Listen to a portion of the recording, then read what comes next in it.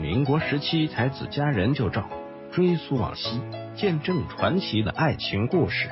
一九二七年，梁思成和林徽因在宾大校园里的罕见合影，郎才女貌，十分般配。林徽因是才情与美貌并存的女子，胡适称她为中国第一才女。一九二四年五月八日，为了庆祝泰戈尔五十八岁生日，讲学社排演诗剧《齐德拉》，林徽因饰演马尼普王的女儿齐德拉公主，令人惊艳。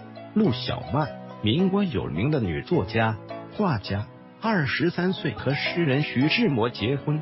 陆小曼美艳动人，气质典雅。当时上海有唐英，北京有陆小曼。在名媛界被盛誉为南唐北陆，而且陆小曼也是一代才女。刘海粟这样评价说：陆小曼的旧诗清新俏丽，文章韵界婉约，绘画颇见宋人原本的常规。徐志摩和陆小曼罕见合影。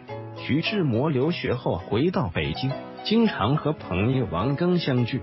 当时陆小曼是王庚的妻子。徐志摩对家人一见倾心，两人当时是在北京交际场相识相爱。孟小冬，民国时期真正的绝代佳人，早年京剧优秀的女老生，人称东皇。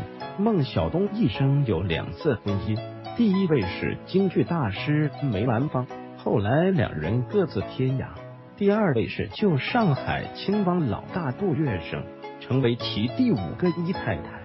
定居香港的杜月笙和孟小冬罕见合影。杜月笙晚年的时候，一身疾病，只能整天躺在病床上。